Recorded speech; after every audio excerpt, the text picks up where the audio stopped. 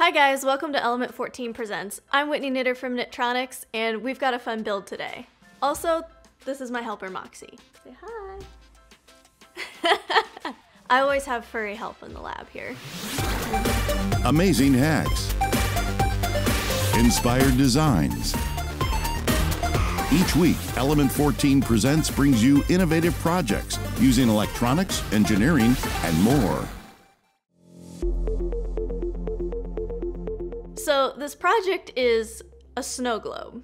A snow globe containing a pair of Helmholtz coils. So for those of you not familiar, Helmholtz coils are a set of coils, such as these, and they have some sort of wire, such as copper wire, wrapped around them. When a currents pass through the wire, it creates a uniform magnetic field in the center of the rings. When I saw this cool little snow globe thing on Adafruit, I thought it'd be fun to put a pair of these inside here with some mineral oil and ferrite shavings and see what this magnetic field looks like. So let me explain my setup. A quick rundown of the materials I'm using for this project. We'll start with the one that kind of sparked this whole project initially, which is this cool snow globe thing I found on Adafruit. It's got a nice little area, cavity, to store your electronics here. I think it's meant for normally a circuit playground. And if you pull this out, you've got the main part of your snow globe here. So I decided this little platform here is where our rings are going to sit. Surprisingly enough, little rigid one inch rings are kind of hard to find with a little lip on them to wrap wire around. So after much pain and searching, because I am an electrical engineer, not a mechanical engineer, I found this really cool little online CAD software called Onshape, to which I used my very limited mechanical engineering skills to create these three pieces. Well, it's actually only two different drawings, the ring drawing and the base drawing. I'll have both of these linked down below. Onshape's pretty cool, it's all online, I can share these publicly. Uh, and if you want to recreate these projects, you can just simply 3D print these mechanical CAD files for yourself. So I've got my first try or my first pass at these rings here, and you can see this is kind of the idea of what we're going for with wrapping the copper wire around. Based upon my calculations, I thought that this ma magnetic field would be strong enough, but after wrapping it up and testing it, the rings were too big compared to the gauge of my magnet wire for there to be really any recognizable magnetic field. Um, I'll pop that uh, equation up on the screen along with my calculations so you can kind of see what I did there. So after my first test here, I went, made my rings smaller and reprinted them. And based upon those calculations, we should get a much more recognizable magnetic field. So we'll see how it turns out.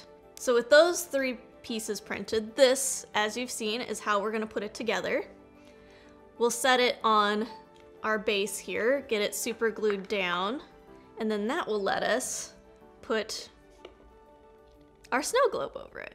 For the current driver circuit, I did a really quick and dirty current source circuit, which is simply an emitter follower transistor with a Zener diode that should keep our current around 20 milliamps, which is just below the capacity of my magnet wire, which is uh, 0.1 millimeter in diameter. So we'll solder that up. We've got our battery as a power source. That will all fit into our cavity here and then in our snow globe. For the ferrite shavings, I went ahead and bought just your plain old ferrite shavings. But then I found this really cool other option, this whole world of nail art that apparently is magnetic nail powder. What you're supposed to do with this is paint on over a base coat and then use a magnet to pull it into some sort of cool design. I figured it'd be cool to throw in, um, throw these into our snow globe and see how it makes it pretty. and then of course, our snow globe juice is mineral oil. I chose this for its non-conductive properties and also the oil I thought it would have the most cool snow globe effect as far as its viscosity being an oil. Let's get started assembling this. I'm gonna start with wrapping the copper wire around the rings for our coils. So let's get started. Are you ready to help me, Moxie? So we need to leave a little bit of space base to thread them down. About six inches would be probably enough. The hardest part is getting it started. Once you get it started. Moxie, I don't need your help with this. There are about 12 meters on each spool here. Uh, the 12 meters, I think if I remember my calculations off the top of my head, equates to on this one and a half inch diameter about 144 turns. Those calculations are relevant because that does um, overall factor into the calculation of the strength of the magnetic field. It is important if you're recreating this to make sure you, if you don't follow my exact um, material specifications, make sure you redo your calculations to know because that type of thing, like the amount of the number of turns on each coil, the diameter of the wire, the amount of current being passed through it, that will all affect the overall strength of the resultant magnetic field coming out of these guys. What becomes cool is the uniformness of the magnetic field between the two coils when they're placed. Um, their radius width apart. So this is a one and a half inch diameter uh, ring. So when we place them three quarters of an inch apart, we'll see this cool little sphere of a magnetic field in between the two.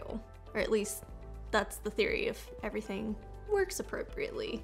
All right, so now need to attach these. I'm just gonna put a dot of super glue down on each end here. So it is important to note that this is, since it's an inductor in the circuit, you don't want to twist these, the ends together, because uh, you've got your current passing through, coming in on one coil and coming out the other. So if you twist them together at the end, you'll short them together. It is also important to note that there is an enamel coating on this copper wire, even though it looks bare, um, just to keep it insulated in that way. So when you're shopping for the wire, it's important, it'll be called magnet wire, which denotes that it has that enamel coating on it. I stuck my fingers together last time on the first set of coils. It was not fun. There's probably a better way to secure this wire onto the spool rather than super gluing it, but I'll save that for version 2. I did buy two of everything, at least.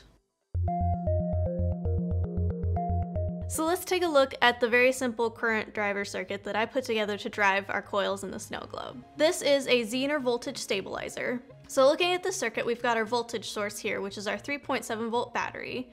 And then we create a voltage divider between this resistor R3 and our Zener diode D3. The voltage drop across the zener is kept constant due to its properties when reverse bias, which is also going to be the voltage drop across R4 here. The constant voltage drop, therefore constant current running through R4, will be the same current running through the collector of our BJT transistor here. So I've got our coils modeled here, L1R1 for coil 1, and then L2R2, which is the electrical model of coil 2. And then our two Schottky diodes, which are flyback diodes. So when we remove the voltage source or remove power, the collapsing field that creates a reverse current doesn't damage the rest of our circuit and therefore our battery, which is our Schottky diodes here, a D1 and D2. I went into KiCad and recreated our circuit here. So we've got our battery connector terminal here, and then I just have a row of headers that will be connecting our coils to and our two flyback diodes here which then I just made an, a cute little round PCB that is the same but a little bit smaller diameter as the bottom of our reservoir in the snow globe. And you can kind of see what this layout looks like here. So it's a simple little circuit, sweet and to the point. It is worth noting that this is vulnerable to temperature, so don't let this circuit get too hot there are ways to make this a little bit more resilient to temperature, but again, we'll save that for a V2. Okay, so we've wrapped the coils, I've walked through my driver circuit, now it's time to get it all soldered up. Funnily enough, I don't know what happened to my finer solder, so I've got a bunch of solder flux and we're gonna hope for the best here. Oh, cat lady problems.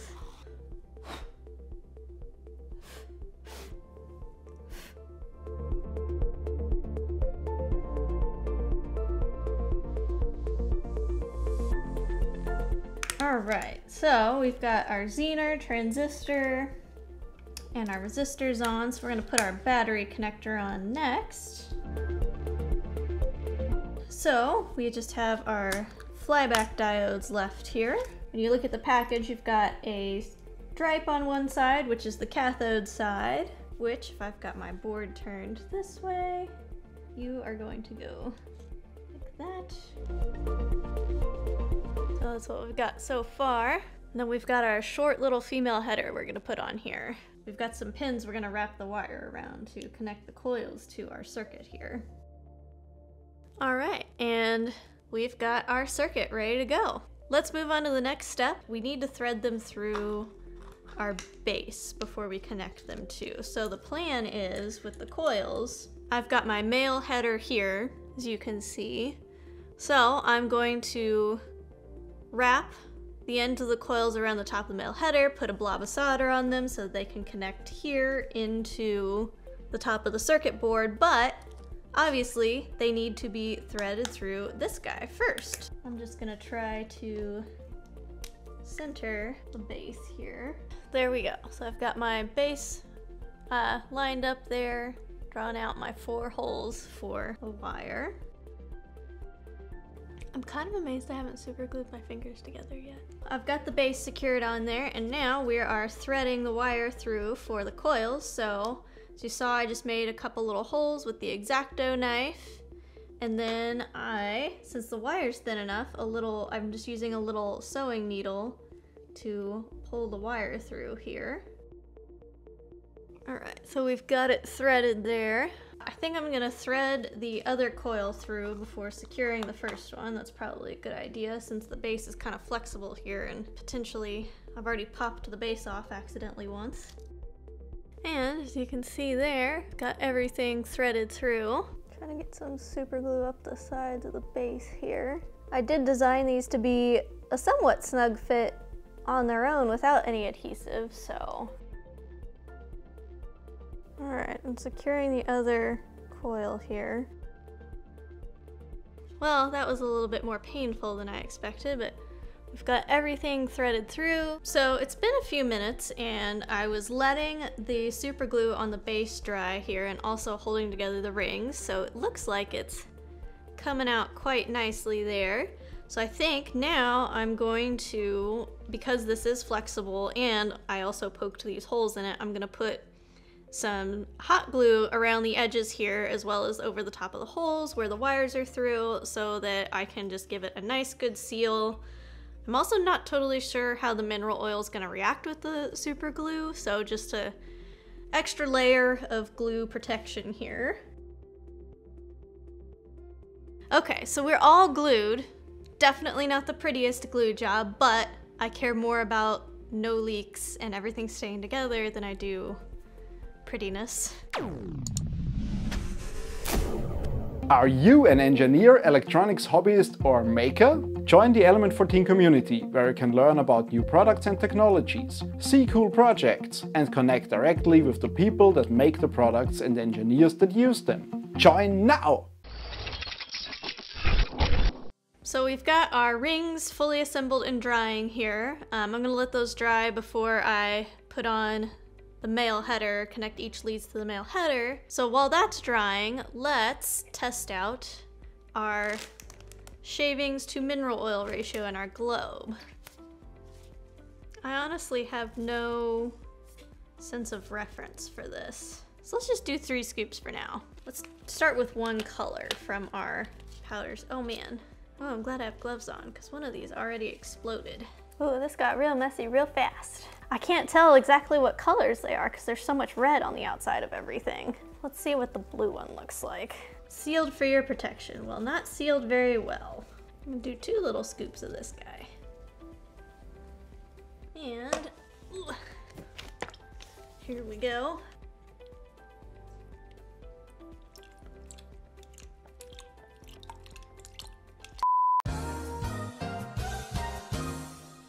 Take two.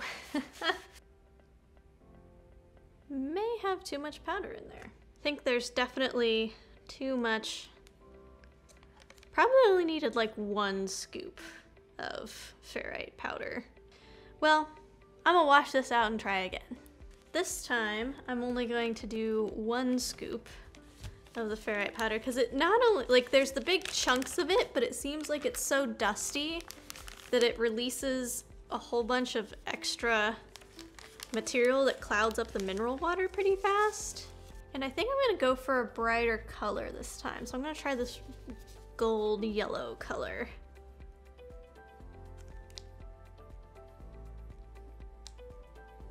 Well, it looks like the nail powder might have been what was too cloudy last time. As pretty as it is, I think I'm going to have to abandon the nail powder idea. It just never, it's too fine and any amount of it seems to just completely make the mineral oil opaque where you're not gonna be able to see the rings. I'm not quite as worried about the actual ferrite shavings sinking as fast because theoretically the magnetic field between the rings should catch and suspend the ferrite shavings. So I think we're going to fill up our final ball here and only put the ferrite shavings in it. It's time to solder on the header for the rings to be able to attach it to our electronics board here. So I'm just gonna wrap the wire around the top of this male header and put a glob of solder on there. Because after much trial and error, this ended up being the most effective way to connect this wire to the board because since this is 38 gauge wire, finding a normal connector for this wire was not easy and not cheap. Okay, so I've got two of them soldered on there. The only thing is you have to be careful when you're soldering to these little headers like this because you can melt the plastic and offset the pins sometimes. So make sure I get my coils on here in the right order. Otherwise the magnetic fields won't be going in the right direction to get the appropriate uniform field in the center. It's turning out to be a little bit tedious. And there we go. We just need to clean up and trim those ends. And we are good to go. Okay, so we've got the header installed with both of our coils, so now our coils are connected to our driver circuit. So I just placed a couple little dollops of super glue on the top to secure the excess wire on top of the solder there. Okay, so to test the coils real quick, I was gonna plug in the battery and so they don't have any switch on this. When you plug in the battery, it's just on. I have my needle I was using earlier. I'm just gonna see if I can feel the magnetic field after I plug this battery in. I feel some resistance. There's a field there. It's not super strong, but I didn't expect it to be super strong. By my calculations, it's probably about half the strength of a normal kitchen magnet, which given its 38 gauge wire, the diameter of the coils, that's about what I was expecting. But I also kind of wanted to keep the current requirements really low so I didn't have to get into any fancy circuitry because keeping the max current down to like 20 milliamps made all my circuitry really easy and my power supply because also keep in mind my power supply had to fit in this little reservoir so there was a lot of moving parts in this design that make me worry that all this work is it's not gonna work but if it doesn't work, I will reassess and we'll just have to make a version 2 in the future. Now that I know that there's some sort of field there for sure, let's fill up our snow globe and get this final assembly going. Let's start the final assembly here and pray for no catastrophic mineral oil explosions. Let's pour in our mineral water, or mineral oil. Keep saying mineral water. Oh no.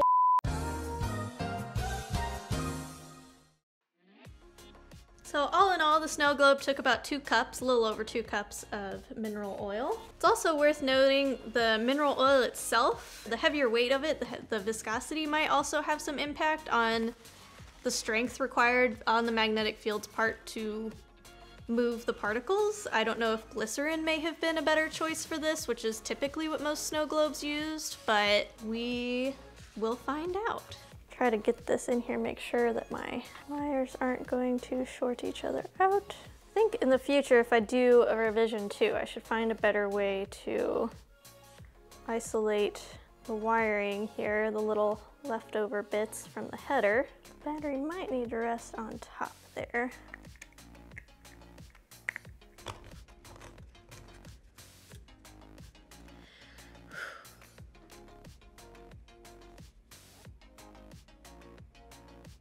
It looks like they're hovering or I see a few kind of suspended. They don't stay suspended for very long, but they are all sticking to the coils themselves. Not quite as cool as I was expecting, but I can see a few little of them. They're suspended there, and they are sticking to the coils. So I think I either need something with lighter shavings, maybe use glycerin instead of mineral oil, maybe bump up the gauge of wire so I can get a stronger magnetic field, one of the two. Overall, I think it was a success in proof of concept. I can see where I clearly need to improve it to make it look really cool. Um, I definitely think I need to add the thermal protection to the circuit because I can definitely feel it heating up a little bit already. But overall, I'm very excited with it. I think it was a success. A mild success, but a success. While I was hoping you'd actually be able to see the cloud of magnetic field in between the rings and that the actual field would suspend the ferrite shavings there in the middle, I still think this turned out pretty cool. It was still cool to at least see it attached to the rings. I have definite ideas of how to improve this in the future, and now that I've gone through and put this all together, I can see how some of my plans on paper didn't quite turn out in real life. But I'm really excited to uh, go back to the drawing board, do a Rev 2, and build another one of these guys. And if you want to recreate this project for yourself, I'll link all of my AutoCAD files as well as my PCB layout in KiCad. And I'll catch you next time. I'm Whitney and this is Element 14. Thanks for dropping by.